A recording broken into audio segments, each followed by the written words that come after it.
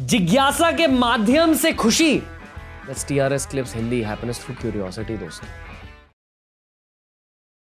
ज़िंदगी भर आपका मनपसंद देवता बदलता क्यों है? ज़िंदगी भर बदलता नहीं है। अगर आपको पता ही नहीं है कि आप क्या कर रहे हो क्या नहीं कर रहे हो बस आपको भक्ति भाव है तो आपके लिए देवता वही रहेंगे। कुल देवता का एक कॉन्सेप्ट है इष्ट देवता का एक कॉन्सेप्ट है। कुल देवता यानी कि आपके जीन्स के भगवान।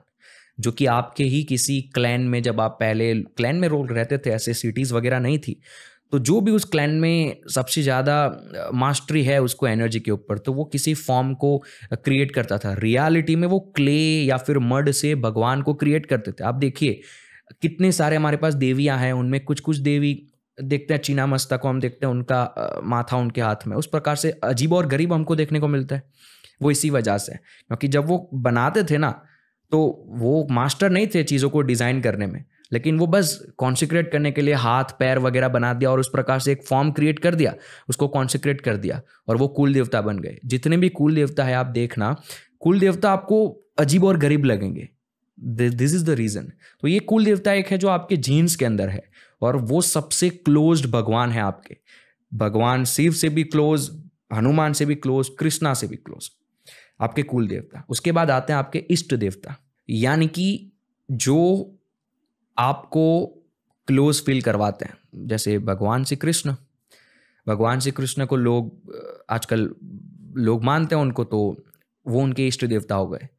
वो अपने हिसाब से उनको अपना भगवान मान रहे हैं। दैट्स इष्ट देवता। तो कुल देवता तो आपके वही के वही हैं और इष्ट देवता भी आपके वही के वही रहते हैं।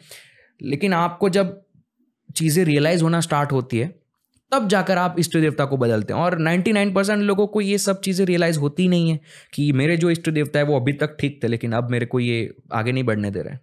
अब मुझे कहीं और जाना है। लेकिन 99 परसेंट लोगों के लिए इष्ट देवता भी वही रहते हैं पूरी लाइफ ओके आपने काल भैरव के बारे में बात क्यों करी?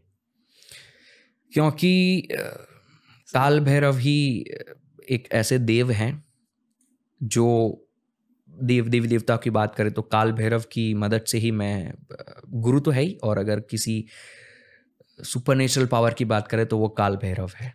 uh, मैंने आपसे सवाल पूछा था कि आपको मैक्स रिलेटेबिलिटी किस कैरेक्टर से फील होती है? hmm.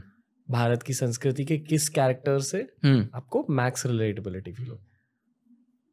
आपको खुद के अंदर काल भैरव महसूस होता है? नहीं देखिए मैं समझाता हूँ। काल भैरव को अगर आप देखेंगे तो उनका वाहनम कुत्ता है। एकदम बेसिक लेवल पर आकर समझाइए कि काल भैरव है कौन। काल भैरव यानी कि संहारका यानी कि ऐसा देव ऐसे देव जो आपके कर्म को डिसॉल्व करने में आपकी मदद करता है। अगर आपको जाना है सेल्फ रिलाइजेशन के उस स्टेज पर आपका कॉन्शियसनेस पूरा पीक पे पहुँच जाए। अगर उस स्टेज पर जाना है, सबसे पहली अगर कोई चीज़ है तो वो आपके कर्म को आपको साफ़ करना होगा, आपके कर्म को पहचानना होगा, आपके कर्म के साथ आपको खेलना होगा। और वो चीज़ जहाँ से आपको सीखने को मिलती है, वो काल भैरव का फॉर्म है। मैं उनको भगवान के तौर पे नहीं, मैं उनके फॉर्म से ज़्यादा रिजोनेट करता हूँ। उनका फॉर्म इतना ज़बरदस्त है कि आप क्या ये शिव जी के अवतार है? कह सकते हैं। अगर हम देखें एक नॉर्मल वे से तो वो शिव जी है लेकिन अगर वैसे देखने जाए योगिक परस्पेक्टिव तो वो एक अलग फॉर्म है शिव एक अलग फॉर्म है। फ़र्क क्या है? फ़र्क यह है कि देखो जितने भी देवी देवता हमारे पास है they are the form replication of your energy समझाता हूँ मैं।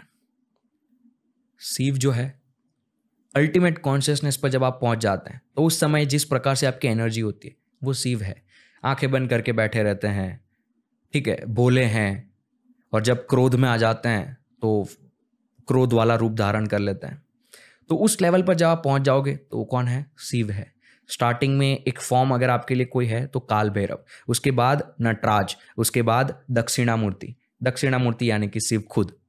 तो इस प्रकार से पूरा फॉर्म चलता है। तो मैं अगर साधना स्टार्ट कर रहा हूँ तो काल भैरव जी मेरे लिए एक फॉर्म होगा, जिससे मैं अपने कर्म को पहले डिजोल्व करूँगा।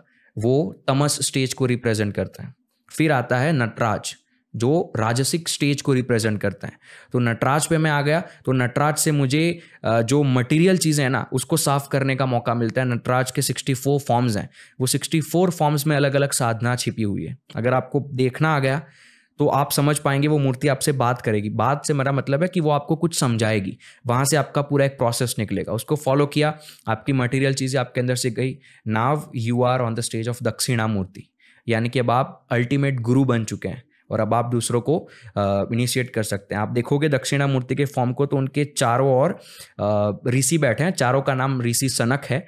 और वो चारों वेदों का ज्ञान दे रहे हैं दक्षिणा जी, लेकिन आँखें बंद करके दे रहे हैं, बिना बोले दे रहे हैं। और वो जो ऋषिया ऋषि बैठे हुए हैं, वो बस बिना बोले दक्षिणा मूर्ति कुछ कह रहे हैं और वो सुन रहे हैं। तो उस लेवल पर आप पहुँच जाते हो कि आप बिना बोले अपना नॉलेज ट्रांसमिट कर सकते हो, शक्ति पाठ दे सकते हो। So that's the ultimate level लेकिन वहाँ तक पहुँचना बड़ा मुश्किल है। Okay okay. आपने कहा कि काल भैरव आपके कर्म डिजोल्व करते हैं। हाँ। प्रैक्टिकली इसका क्या मतलब है? अगर किसी ने काल भैरव की पूजा स्टार्ट करी आज हाँ। तो क्या होने लगता है उनकी ज़िंदगी में? अगर आप काल भैरव की उपासना करने जाओगे ना तो जैसे मैं वाहन की बात कर रहा था उनका कुत्ता वाहन है तो हमको क्या लगता है कि वो कुत्ते पे बैठकर चल भाई तू अब मेरे को यहाँ से वहाँ ले जा। ऐसा करते होंगे? नहीं।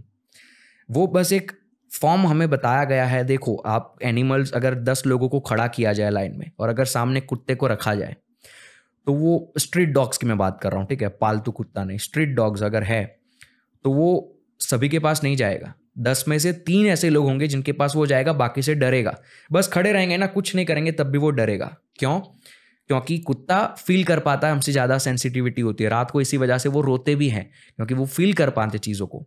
तो आपके जो कर्म है ना, वो आपके आकाश, अब लोगों को आकाशिक क्षेत्र समझ में नहीं आएगा। आपके आसपास जिसे हम आजकल वाइब्स कहते हैं। तो इसे हमारे वेदों में आकाश कहा गया है। तो वो हमारे शरीर के दो तीन सेंटीमीटर बाहर होता है। तो हमारे कर्म अगर खराब होंगे ना तो हमारा आकाशिक क्षेत्रम जो है ना वो अच्छे से नहीं बना होगा और इस वजह से कुत्ता उसे फील कर पाता है, वो हमारे पास नहीं आता है। तो जब आपके पास कुत्ता पास आने लगे, उसका मतलब है कि आपके कर्म साफ़ हो चुके हैं। इसी वजह से काल भैरव जी का वाहन कुत्ता है, यानी कि वो एक ऐसा फॉर्म जो आपके कर्म को साफ़ करेगा। इसी वजह से उनके पास कुत्ता आया। तो अगर आप तांत्रिक वैसे उपासना करने जाओगे काल भैरव की तो पहले वही चेक किया जाएगा, आपके पास कुत्ता आ रहा है या नहीं आ रहा है। कुत्ता आ रहा है, तब जाकर आप काल भैरव की उपासना कर पाओगे। यानी कि यू आर नाव रेडी इसी वजह से फॉर्म में वो दिखाया गया है। उनके हाथ में आपको सर्प देखने को मिलेगा जो डमरू के ऊपर है। तो उस पूरे फॉर्म को समारका कहा जाता है। वो ये दर्शा रहा है कि आप का जो कर, वो एक सिंबॉलिज्म है सिंपल सिंबॉलिज्म कि आपके कर्म पर्टिकुलर काल भैरव की उपासना से साफ़ होने लगेंगे क्लीन होने लगेंगे। वो उपासना करो मंत्र होते हैं काल भैरव जी की बहुत सारी चीज़ें होती है। बट पब्लिक प्लेटफॉर्म पे लोगों के लिए नहीं है। क्यों? क्योंकि काल भैरव एक फियर्स फॉर्म है। और अगर आज कोई करने लगेगा विदाउट एनी ऑब्जर्वेशन गुरु की गाइडेंस के बिना तो शायद वो डर जाएगा शायद उसके ऊपर ट्रॉमा वो ट्रॉमा में चला जाए उसके ऊपर कुछ ऐसा हो जो नॉर्मल लाइफ में आ, आ ही ना पाए फिर से। तो इस प्रकार से चीज़ें हैं और इसी वजह से मैं काल भैरव से ज़्यादा रिजोनेट करता हूँ और मैं जहाँ रहता हूँ वहाँ भी काल भैरव जी का बहुत पुराना बहुत मतलब बहुत पुराना शिवलिंग है और मेरे घर के बस थोड़े ही दूर है। और मैं जहाँ वहाँ जब बैठता हूँ तो मुझे किसी गुरु की ज़रूरत नहीं होती है मैं बस आँखें बंद कर दूँ सब कुछ हो जाता है। तो इसी वजह से मेरे लिए काल भैरव बड़े महत्वपूर्ण है और जो मैं रुद्राक्ष पहनता हूँ वो भी काल भैरव कॉन्सिक्रेटेड रुद्राक्ष ही है। So that is helping me कर्म को आप इस प्रकार से डिजोल्व कर सकते हो। काल भैरव का रुद्राक्ष अगर आपके पास है और अगर आप पहन के चलते हो slowly slowly it will loose you up मतलब क्या? प्रैक्टिकली मतलब क्या? प्रैक्टिकली अगर हम बात करें तो देखो संचिता कर्म जो मैंने स्टार्टिंग में समझाया उसको हम कुछ नहीं कर सकते वो हमारे पुराने लाइफ टाइम्स के इस लाइफ के नहीं है। लेकिन इस लाइफ के अंदर जो भी हम कर्म इकट्ठा कर रहे हैं, जिसको मैंने कहा आगामी कर्म में वो आपके पास लौट के आएँगे तो हम उस कर्म को साफ़ कर सकते हैं। जैसे कि आप काल भैरव की उपासना कर रहे हैं, कुछ ऐसे मंत्र है, कुछ ऐसी चीज़ें हैं, जो आपको पश्चाताप, मैं एक सिंपल वे में समझाता हूँ, पश्चाताप वर्ड है हिंदी का, उसका मतलब ही है, मैंने ये एक्सरसाइज लोगों को सिखाई भी है, अगर आपको कुछ लगता है ना कि आपसे बहुत बड़ी गलती हो गई है, आँखें बंद करो और धीरे धीरे उस मोमेंट में फिर से जाओ। जो आपने गलती करी थी, उसको आपके ही मोमेंट में ठीक करने की कोशिश करो, आँखें बंद करके। उस पूरे टाइम को फिर से रिलीव करने की कोशिश करो। जब आप ऐसा करोगे ना तो आपके न्यूरोलॉजिकल पाथवे में वो चीज़ क्लीन हो जाएगी। आपके कर्म आपके न्यूरोलॉजिकल पाथवे में, आपने कुछ किया, आपके अंदर एक गिल्ट है, वो आपकी न्यूरोलॉजिकल पैटर्न के अंदर बैठ गई है। उसकी वजह से आप कुछ और आगे आने वाले टाइम में गलत करोगे।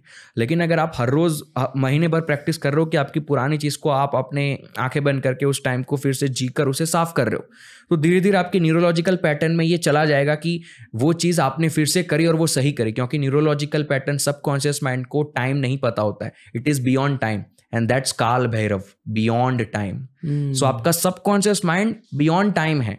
और आप सबकॉन्शियस माइंड की मदद से आपके उस मोमेंट को रिलीव करके उसको फिर से सही कर रहे हो तो आपके न्यूरोलॉजिकल पैटर्न को ये लगेगा कि आपने रियलिटी में वो चीज़ करी। एंड फॉर दैट उस उसकी वजह से आपके आगामी कर्म क्लीन हो सकते हैं। Now you are ready for Nataraja. Okay अभी नटराजा के बारे में बताइए। जो आपने कहा कि राजसिक रूप है और आपने कहा कि उनके स्टैचू से आपको कुछ सीख मिलती है। हाँ। मतलब क्या?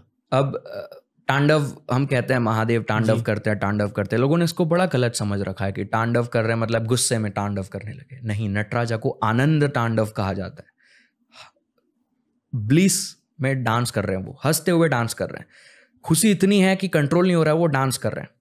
लेकिन फॉर्म्स में जितनी भी चीज़ें दिखाई गई अलग अलग तांडव है वो अब सारे गुरु दीक्षा तांत्रिक में ही होते हैं। तांडव के नाम ता, तांडव से कैसे आप चीज़ें सीख सकते हो लेकिन जो नटराज है वो आनंद तांडव सिंपल एक बेसिक तांडव जिसको हम सब जानते हैं सबके घरों में उनकी मूर्तियाँ भी होती है। अगर आप उन्हें देखोगे तो उनके नीचे एक छोटा बौना आदमी यानी कि ड्वाफ है जिसके ऊपर वो डांस कर रहे हैं जिसे अपस्मारा कहा जाता है अपस्मरा। अपस्मरा का ऑपोजिट होता है स्मरण। स्मरण का अपोजिट अपस्मरण। तो अपस्मरण का वो छोटा वर्ड है, अपस्मरा। तो जब आपके काल भैरव की मदद से आपके कर्म डिजॉल्व हो गए, नाव, आप कर्म डिजॉल्व करने के बाद एक ऐसे स्टेज पे पहुँच गए हो, जहाँ पर आपको पता है कि आपको कैसे जीना है। यू आर कॉन्सियस तो स्मरण का मतलब कॉन्सियसनेस और स्मरण का अपोजिट अपस्मरण। और अपस्मरण के ऊपर वो खड़े यानी कि अपस्मरण को दबा दिया, यानी कि जो आप अवेयर नहीं रहते थे, वो चीज़ उनके पैर के नीचे दब गई और फिर वो ब्लीस में डांस कर रहे हैं कॉन्शियसनेस से डांस कर रहे हैं। अब उस डांस के अंदर उनका एक पैर ऊपर होता है।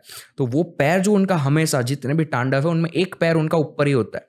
तो वहाँ पर क्या हो रहा है कि आपकी एक साइड आपकी ईडा नाड़ी या फेमिनाइन साइड से पूरी एनर्जी आपके शरीर में ली जा रही है और दूसरी साइड से फिर से एक सर्किट बनाई जा रही है।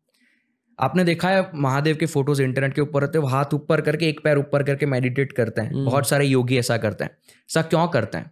तो कुछ कुछ मेडिटेशन ऐसे होते हैं जहाँ पर आपको आपके सिर्फ़ ईड़ा नाड़ी की ज़रूरत है या पिंगला नाड़ी की ज़रूरत है। तो अगर आपका एक पैर ऊपर होगा और अगर आप आपके राइट पैड पे खड़े खड़े हैं तो आपका पिंगला जो आपका जो मेस्कुलाइन फॉर्म है वो एक्टिव हो जाएगा। वो देखा है लोग आ, हाथ में यहाँ पर डंडा रख के वो माला करते हैं या फिर योगी जो होते हैं वो डंडा लेके घूमते हैं उनके बगल में दबा के रखते हैं वो। वो भी इसी वजह से होता है। वो स्वर चेंज करने के लिए कि भाई अब आपको ज़रूरत है पिंगला की तो आप इस हाथ के नीचे दबा दो तो आपकी ईड़ा अपोजिट साइड की एक्टिव हो जाएगी। अगर यहाँ दबाओगे तो आपकी एक्टिव हो जाएगी। गायत्री मंत्र तब अच्छे से काम करेगा अगर आपकी ईड़ा नाड़ी एक्टिव है। नाक, अपने नाक के नीचे हाथ रखो। देखो कौन से सांस ज़्यादा आ रही है, कौन सी नॉस्ट्रिल में से। अगर आपको दिखता है ईड़ा नाड़ी में से आ रही है और उस समय अगर आप गायत्री मंत्र करते हो तो वो ज़्यादा इफ़ेक्टिव होता है। अगर आपको कोई इंट्यूशन हो रहा है, ये स्वर योग है, ठीक है? एक पार्ट है हमारे शास्त्रों का।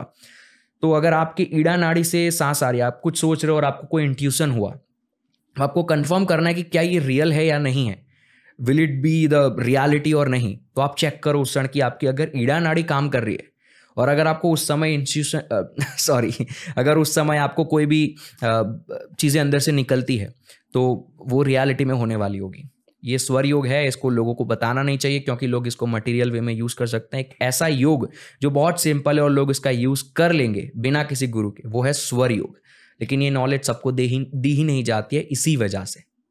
तो इस प्रकार से हैं। तो वो आनंद तांडव जो है नटराज का, उसमें अलग अलग इस प्रकार के फॉर्म्स हैं, उनके हाथ में अलग अलग ऑब्जेक्ट्स हैं, जो अलग अलग साधना को दर्शाते हैं और कौन से साइड को एक्टिव करके साधना करनी है। इस प्रकार से सिक्सटी फोर उनके डिफरेंट फॉर्म्स हैं और बहुत सारे से तांडव्स हैं। वो सब पब्लिक प्लेटफॉर्म पे नहीं है, एक आनंद तांडव आपको देखने को मिलता है। So that's Nataraj. लेकिन मेन चीज़ है कि वो अपस्मरा पे खड़े यानी कि नाव यू आर कॉन्सियस दोस्तों, अगर ये वीडियो अच्छा लगा तो डेफिनेटली हमारी प्लेलिस्ट देख लीजिए। ऐसे ही वीडियोस आपको वहाँ भी मिलेंगे और डेफिनेटली टीआरएस क्लिप्स हिंदी को सब्सक्राइब कीजिए।